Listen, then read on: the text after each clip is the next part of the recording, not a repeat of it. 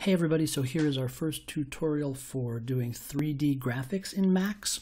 Um, what's one of the really nice things about this is a lot of the stuff that we learned for doing sound is going to directly carry over to working in graphics. So the learning curve is not going to be as steep.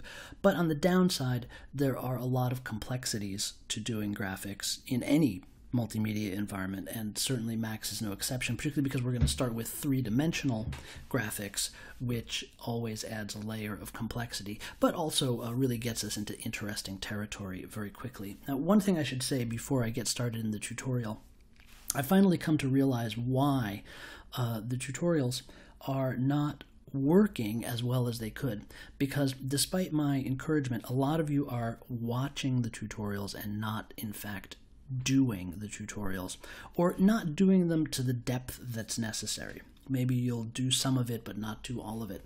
So for the rest of the semester, what I'm going to do is ask that you do the tutorial and build on your own exactly what I build in the tutorial. Bring it to class and you'll actually email it as part of your quiz in class project.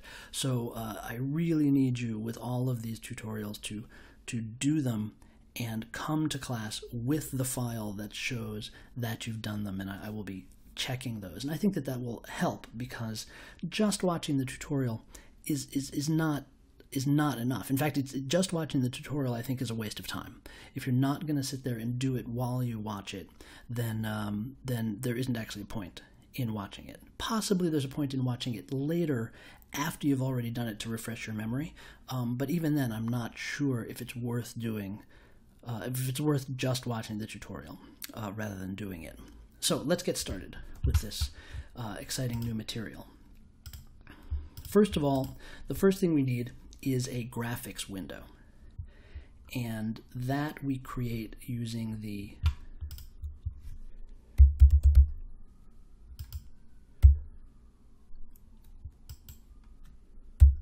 Hmm. You're not working. Why not? It's very odd. Unlock my patch. There we go. Okay. Jit dot window. And so this JIT, this uh, jitter, this is a class of objects in Max that deal with video. And uh, a, a window needs a name. I'll call it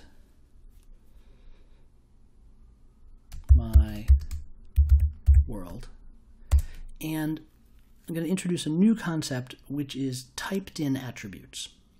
Uh, so I'm going to type in the attribute at floating and then give it an argument after a space of 1. So my total object here is jit.window space my underscore world space at floating 1. And here it is there's my jit.window. You see it's named my world. And we see that it is floating, meaning if I click on this window, my world doesn't fall behind. Without floating, without floating one,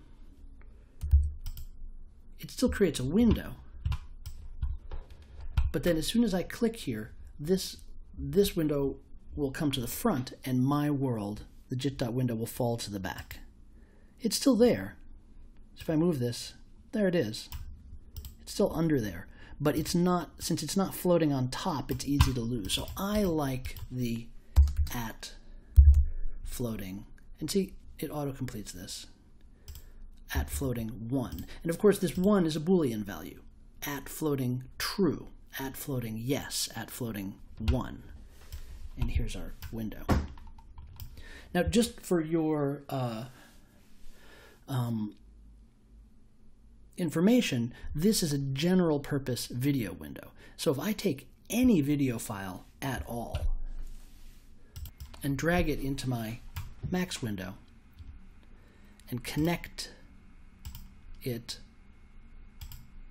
to this window, lock my patcher and play it, the video will play to the window. It's a general purpose video window.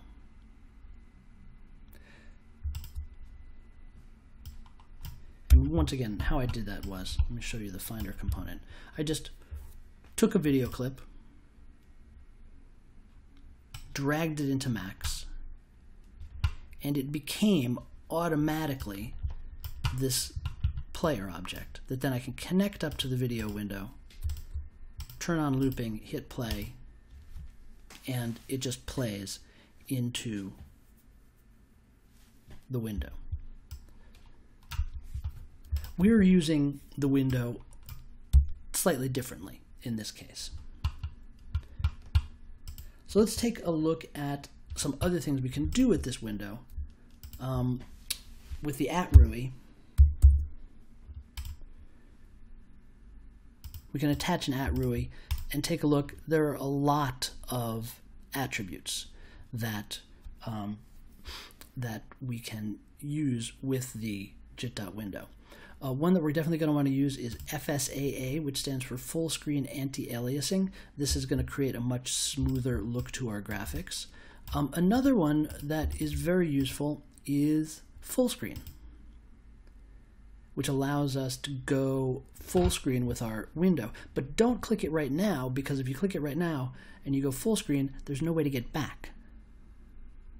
So we're going to need to create a different way to go full screen and get back. And also, you see how this attribute at floating one, I could also get to that here, floating. Right, if I wanted to turn on and off floating. But I put it in as a typed in attribute because I always want to leave floating on.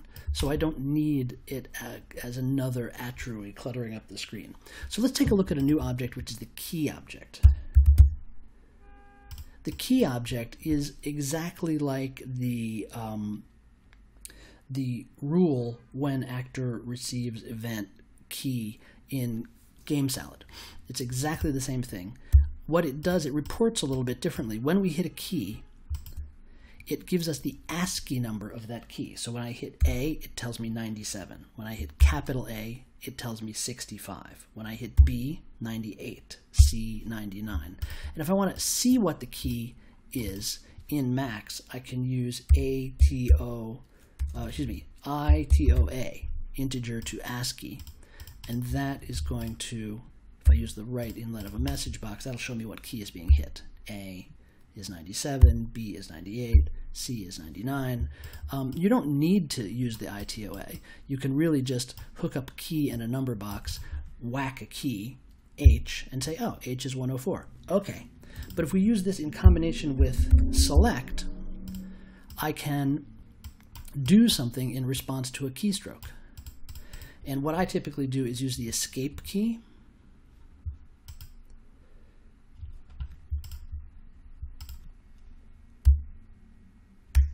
which is key number 27,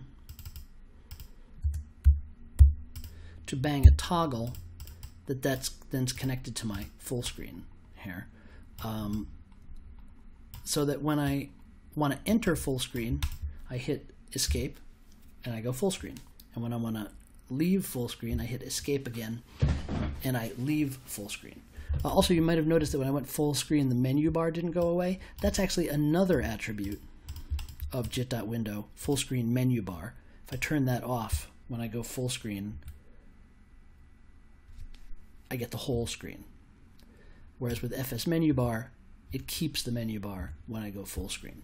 So really you could probably add to this an at FS menu bar 0. So the default setting for your JIT.window could be JIT.window name floating 1, so it always stays on top, FS menu bar 0, so that when we do go full screen, we don't have this menu bar still on the screen. So that's our output section, that's our screen. Um, so let's take a look at the next thing we need, which is a renderer.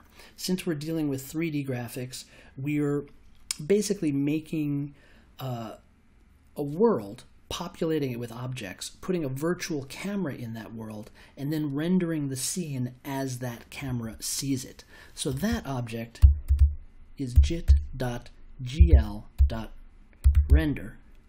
and uh, it has to match the name of the window. So my underscore world.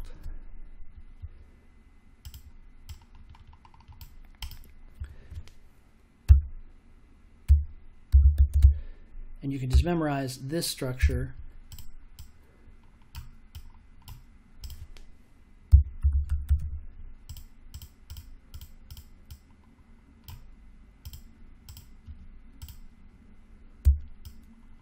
QMetro, which is the same as the Metro object. Every so often it presses a button. The difference is that QMetro is going to let some button presses go if the computer is getting too strained because graphics, uh, you know, rendering graphics can be extremely uh, computationally intensive. So QMetro uh, tries, in this case, uh, every 33 milliseconds, it tries to send a bang every 33 milliseconds, but if it can't, rather than stress out the computer, it skips a bang. Um, which you don't want to do in music because then you don't hear the beat. But if if that just means losing one frame of video so the computer's not stressed out, it's fine. And then uh, this QMOS Metro is actually sending two messages. It's sending the erase message, causing the uh, the the rendering to be cleared, and then a bang, a button press, causing the next frame to be rendered. You don't need this button here, but I just added it there to make it explicit that first it's erasing, then it's redrawing. And uh, there's lots of attributes for your attrui. The one that I think is most important, and I mean there's really a ton of them, um, is uh, the erase color, because that is the color that your background is going to be once the metro is turned on. So if I want a white background, I choose a white erase color here. If I wanted a pink background, I choose a pink erase color here.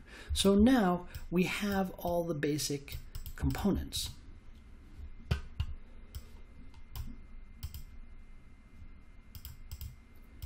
We have a renderer and we have a window where we can see the scene that's being rendered. So the next thing we need is a camera. This is jit.gl.camera. And the, uh, you see the jit.jit dot that I mentioned when we talked about jit.window, that is the larger class of video related objects. And then GL um, is the specific set of objects that deal with 3D graphics. So anything that's jit.gl means it's a video object that specifically deals with three-dimensional rendering. So jit.gl.camera, and here we want a typed in attribute of tripod 1. This means our virtual camera will act as if it's on a tripod.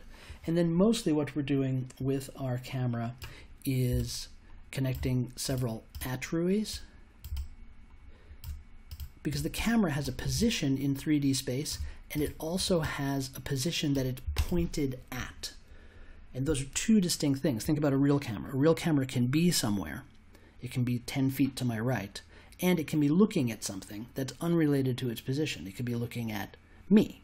It's 10 feet to my right, it's looking at me. So a camera has both a position in 3D space and a look at.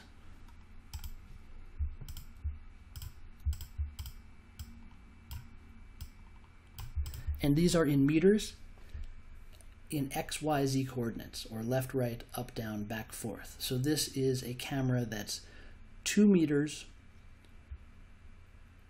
away from the center of our world in the Z plane and it's looking at the center of our world 0x, 0y, 0z. So two meters away from the center, looking at the center. And we can also, we also have a very useful um, attribute called lock look, which when it's enabled means we keep the camera pointed at the same point in space even if the camera moves. So now the camera is 10 meters away, but it's but it's it's locked looking at 000. Um, so it enables us to do a tracking shot, if you will. Okay, so perfect. We've got we've got a renderer, we've got a window, we've got a camera, um, and as in any good scene, we need a light. That's jit.gl.light.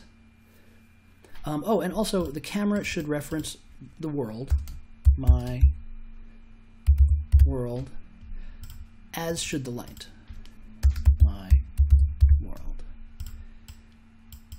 And the type of light we're going to talk about at type point, a point light source.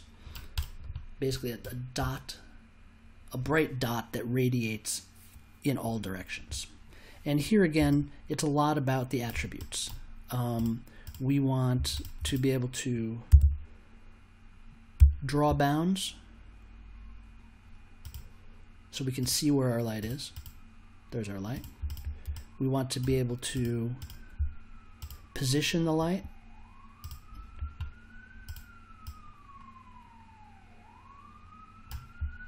And we want to be able to control its color, which in this case will be its diffuse color.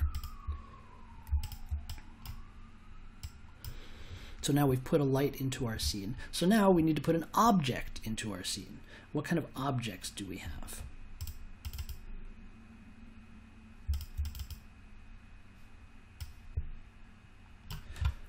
Well, our simplest object is the jit.gl.gridshape. And of course, we want it to be in our world because we could have multiple worlds going on here. Right now we only have one, but we could have multiple 3D worlds. Um, and there's a couple at attributes that you just always want to type in. Um, at lighting enable,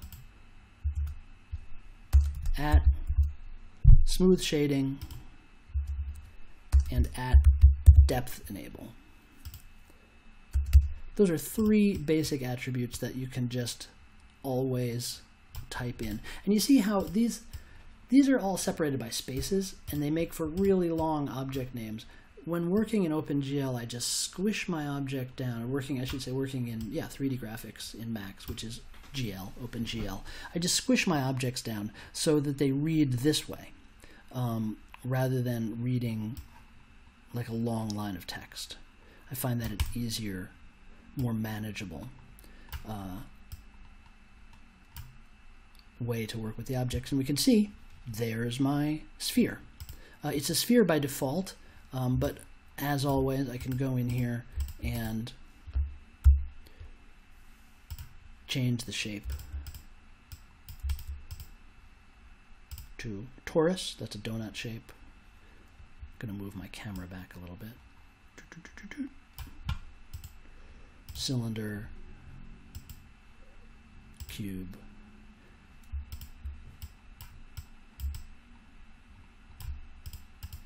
And of course I have position,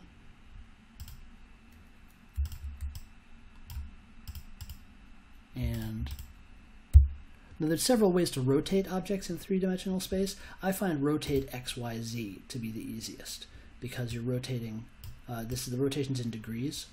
So here I'm rotating on the x-axis. The x-axis is the horizontal axis. So you can imagine the um, the x-axis as like a rotisserie skewer that's going through my object and I'm rotating on that axis. Uh, or if I put a skewer from top to bottom on the y-axis, then I rotate on that axis.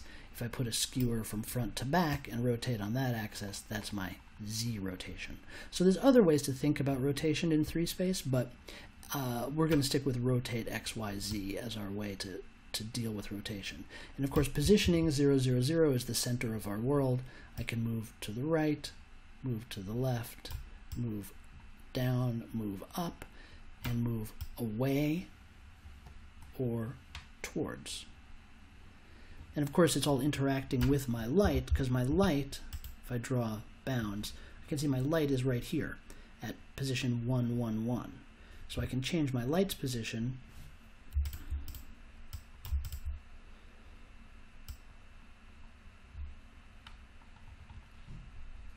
and we see that the shading of the faces of the cube is altered.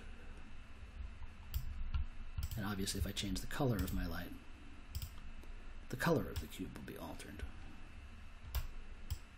Move my light up, now my light is above, now my light is below,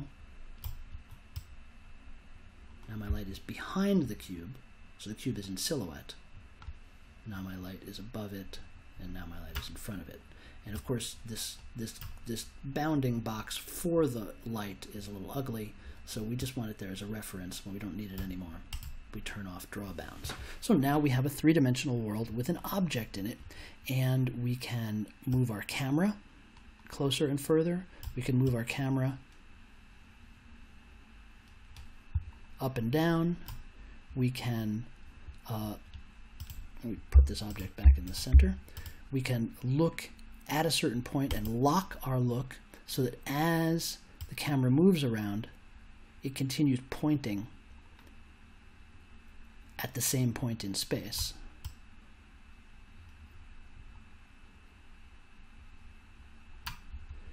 Or I can, as the camera moves, have it point at new locations so that objects pass out of view as the camera moves.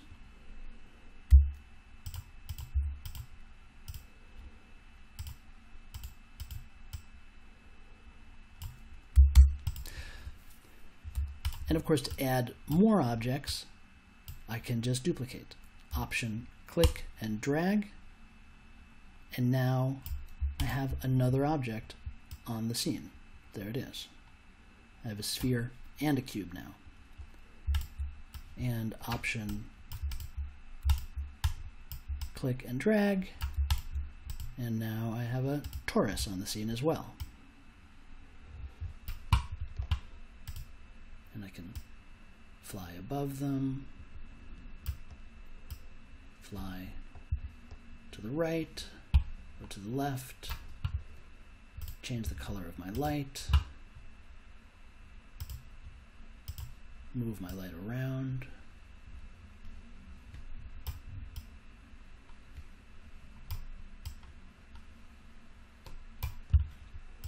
And I'm already interacting with relatively few objects here in my scene with um, with uh, you know a fairly complex 3D world. So what's next? Well, there's a couple of things that we can't do at the moment.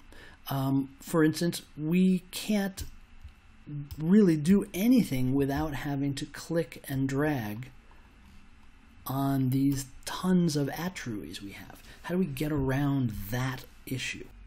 Well, fortunately, we already know an object that helps us out in this situation. We already know the line tilde object from our work with sound.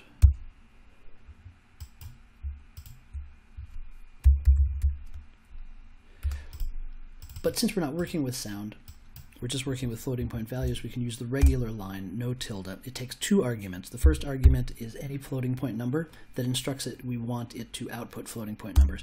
The second argument um, is the number of millisecond number of milliseconds between outputting a new value. So this can be the same value as in our QMetro, uh, which in this case is 33, uh, or you can make it even smaller say every 20 seconds, out, uh, 20 milliseconds, output a new value. This is a pretty standard arrangement, line 0, 20.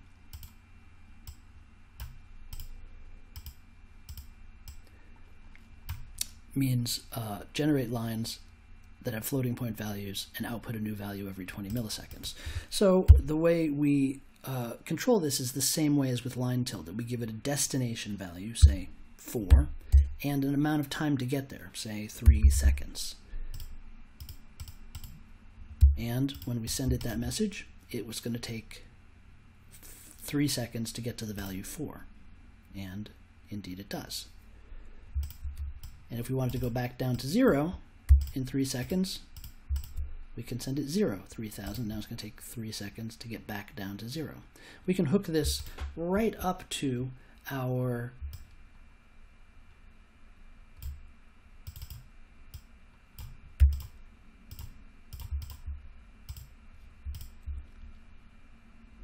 right up to our position attrui, and now we have control over the position of our torus. Move to the center over three seconds. Move four meters from the center over three seconds. Move back to two meters. And of course, if I want to go left of the center, those are negative values. Can move to the left of center. Now, of course, we're getting into that world of it's getting cumbersome to have all of these message boxes again. Well, there's a great new object that we're going to look at called pack. PA, uh, excuse me, we're going to look at a different one, join. Join. And join allows us to create uh, lists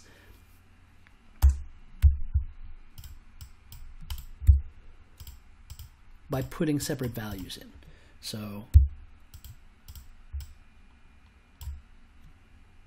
if I put these two values in, I'm going to put in 1,000 and 50. And it creates the list 51,000. Um, so really, to use this properly, I want a floating point value here. And this formats lists that I can then send right into my line object. So if I want it to go over the course of five seconds to location three, when I hit return, these values are going to be joined into a list and line will understand what to do.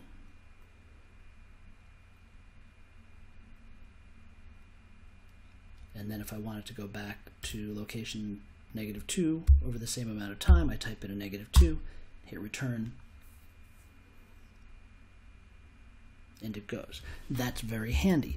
The, the problem with this is that I can put in, I can dial in values into this right inlet all I want because join doesn't send any output until I put something into the left inlet. But I can't really dial in values into the right inlet because I'm going to get a stuttery motion. Um, so I'll show you one new feature of the floating point number box, um, which is useful in cases like this, which is send value on mouse up. Send value on mouse up. With that checked, this box is not going to output its value until I release the mouse. So I can put in some time here, five seconds, and then I can dial in where I want it to go, and it's not going to go there until I let go of the mouse button. It doesn't send its value until I release the mouse button. So that's useful in situations like this. Um, the other place, and you might already see uh, that this is the case, the other place we need to use join is if we want to move our objects in anything other than the x dimension, right? Because we're sending it 2.2 and that's moving it on the x, but how do we access y and z? Well, it's another join object. In this case, it's a join 3, joining three values into a list. The first one is our x position, but the second uh, one can be our y position, the third one can be our z position. So now we're getting much more nuanced control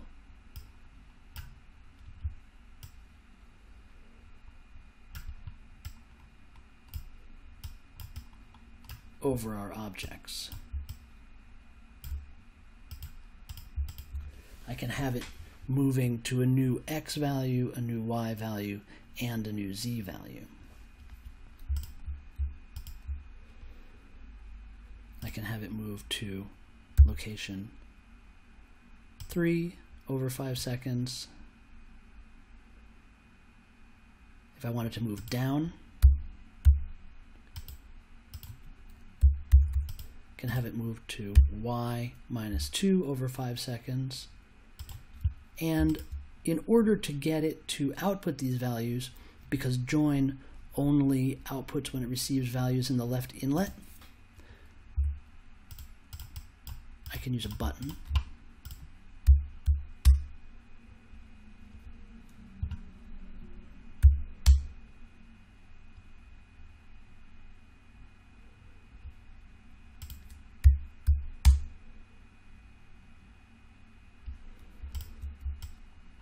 And I can do the same thing here.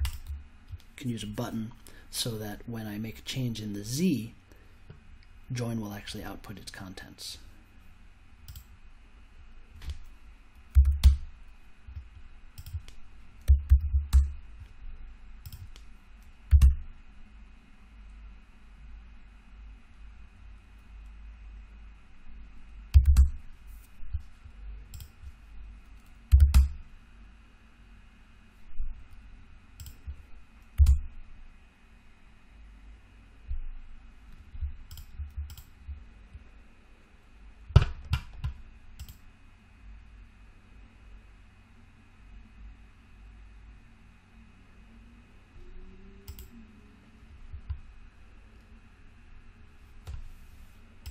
The other way to do this, if you find the button methodology a little bit messy, is to set the triggers attribute of join to negative 1. That will uh, cause the join object to send its output regardless of what inlet it received um, it received a change in. So then you can change these independently.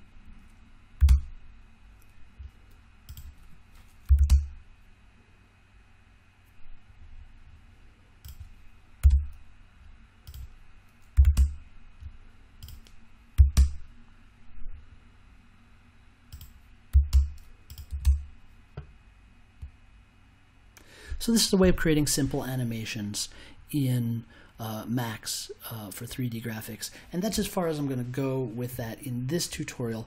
Um, as I said, uh, make sure that you've built everything that I have here along with me uh, so that um, you can email that at the beginning of the next class meeting.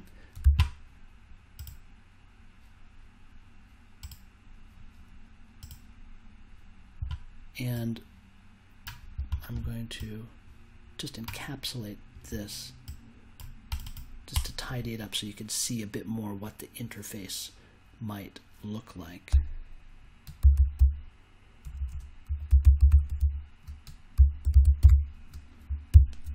Call that animate torus.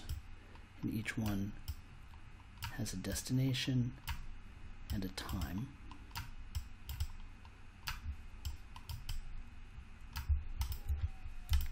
And these are all set to send value on mouse up so that I can dial in a value and then when I release the mouse it sends it.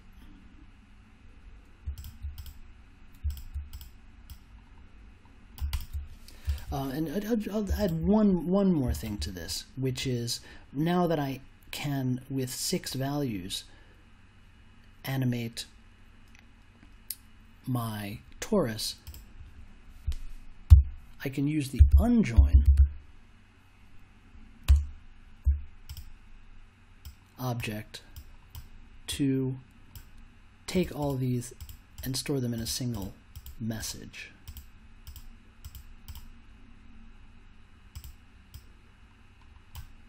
So I can give my torus a whole set of instructions. I want it to go to x minus 2 in 5 seconds, y minus 1 in 3 seconds, and z minus 4 in 5 seconds. And I can take all of that, and now it's in a single button. When I click it, my torus executes that combination of moves. And I could just return it to zero in one second in all dimensions.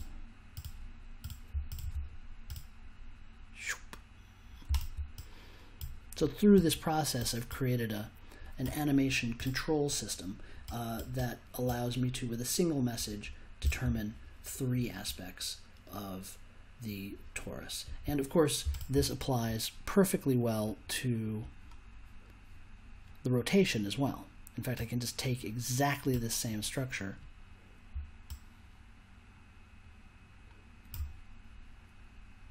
hook it up to rotate XYZ, and now everything is the same except instead of positions, these are now degrees of rotation.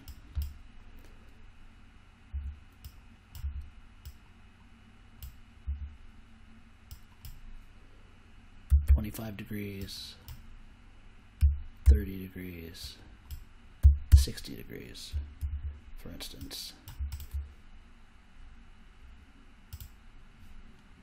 My torus is rotating. I'm going to get the cube out of the way.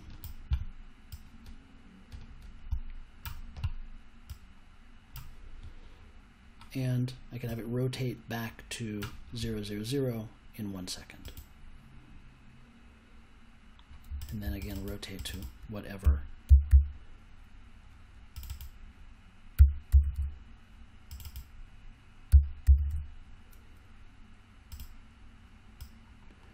whatever rotations I want 25 in the x, 30 degrees in the y, 180 degrees in the z. And then return to zero. All right, that's enough for this tutorial. So just make sure that you build this. Um, I want to see at least exactly what I have. And then if you want to uh, um, continue that and expand it, you're certainly welcome to do so. Uh, and here you can see that there's even more material that I could actually encapsulate. Um, I can just take this whole thing and encapsulate it. And now we're getting an even cleaner user interface.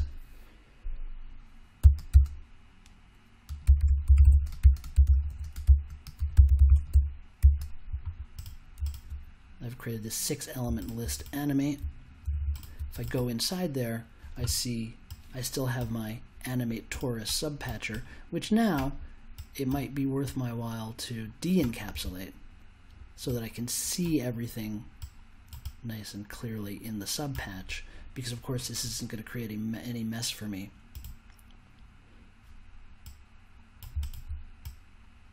Here, in fact, even further, I can encapsulate the join inside there.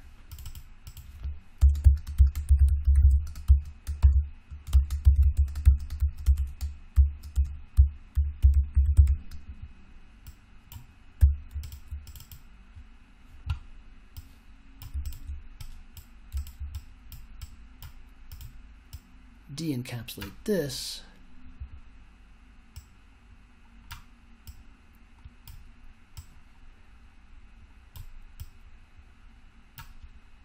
And now I've got a very, very clean interface.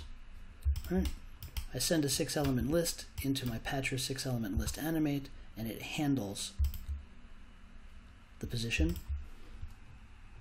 And since I have this patcher, I can just duplicate it here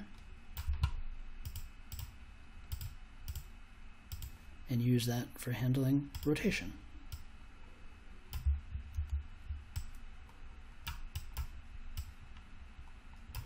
So I hope that's useful for you. Uh, let me know if you have any questions. Be sure to build this, really understand it, um, and then we'll uh, look at this uh, in more depth in the next class and expand upon it. Uh, thanks very much, and take good care.